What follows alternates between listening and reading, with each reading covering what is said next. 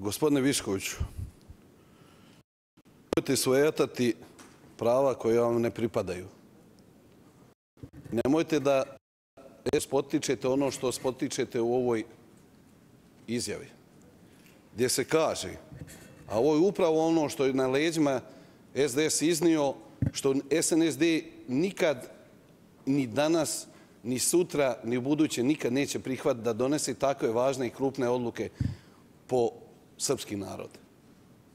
A pogledajte šta vi kažete za taj SDS. Ovdje bez citiranja, ja, ja ne zamiram u ovoj informaciji.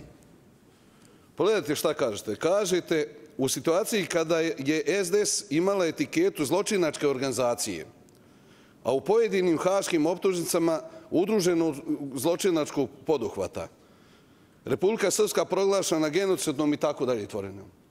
Znate ko je donosio političke odluke? Svaka čast svakom koji je učestao u ratu. Branio svoj dom, svoj narod, svoju teritoriju. Ali donijeti tako krupne odluke je posljedica činjenice da ljudi koji nisu vidjeli oružje u ratu leže po 20 godina u zatvoru, leže doživotne robije. Kad, je li to neko spreman od vas u radu? Pa pogledajte ka, na šta vam liče zaključci na, na, na, na današnju jedinu tačku dnevnog reda o neustavnoj transformaciji detonske strukture Bosne i Hercegovine. Pa ni jedan muški zaključak, ni jedan odlučan, ni jedan decidan, ni jedan precizan koji kaže izvršćemo ga tad i tad. Rok za izvršenje ovog zaključka je taj i taj datum. A sve ovo što predlažete u zaključkama i što predlažete u ovoj informaciji ste mogli na ovo reagovati prije deset godina. Šta se promijenilo od 2009. do danas? Sve je dotad gotovo bilo preneseno od, od, od e, nadležnosti entitetskih na Hercegovini. Šta ste do sad radili?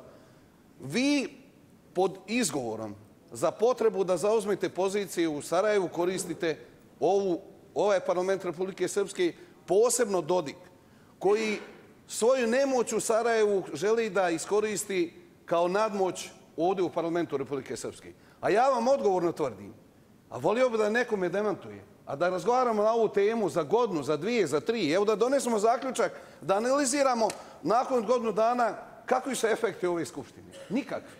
Ništa, ni tačku, ni zared niste, pomjerite, jeste kukavice. Nemate vi petlju vaše sve u dnevno političke potrebe ili predizborne potrebe, vi nemate petlju ni jednu čvrstu odluku da donesete. Jer, Bože moj, ko će ugroziti vašu imovnu koju ste stekli? Ne mislim samo na vas, nego mislim na rukovodstvo SN. Hvala. Riječ ima ova pred vlade, izvolite.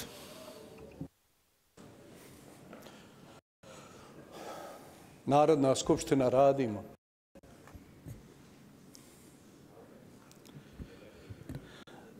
Evi sad ću nešto reći što više ide meni na što nego u korist. Četiri godine sam bio bez ličnih dokumenta zato što sam bio učesnik tih dešavanja. Ko je od vas to prošao? O čemu pričate, ljudi? Znate li šta to znači? Znate li šta znači kad dođete u hotel da se prijavite, da prespavate, a recepcionar kaže dajte ličnu kartu?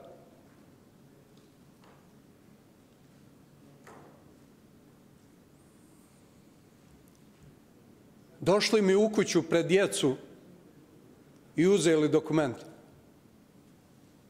Vratili se u kuću pred djecu posle četiri godine i vratili dokument.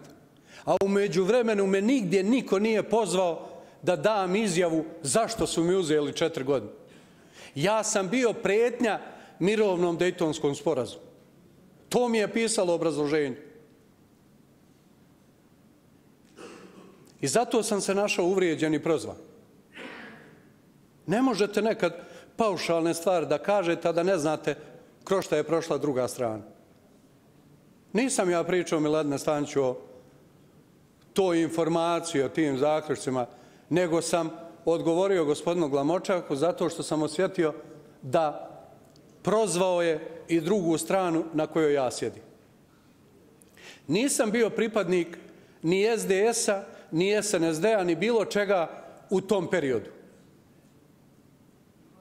Nego sam bio pripadnik svog naroda. I kakva je razlika što ste vi bili pripadnik SDS-a, a ja nisam bio pripadnik SDS-a? Borac prve kategorije sa više učešća nego svi koji su bili članovi SDS. Šta to znači? Ništa. Ne kažem svi u zbiru, nego pojedinačno. To ništa ne znači. Ja sam izvršavao svoju patriotsku obavezu, nikome ništa nažao nisam uradio, ali eto, prošao sam neku golgotu zbog toga i tako dalje. A hoćemo sad da postavimo pitanje, evo kao odgovorni ljudi. Šta bi se desilo sa Republike Srpske 2005. kad je gospodin Čavić kao predsjednik SDS-a i ja mu na tome čestitam dobar potez, hrabar potez, predao vlast SNSD-u Miloradu Dodiku. To je, istorija će pokazati, ne Radovan Višković, da je to bilo spasonosna odluka za Republiku Srpsku. Imali smo mi svi neke svoje zasluge, neke periode i to ne može niko demantovati i uništiti. Zato mislim da treba ove stvari da na jedan korektan način privedemo kraju bez... Ja sam jednostavno osjetio se prozvanim da... Izvinjavam se.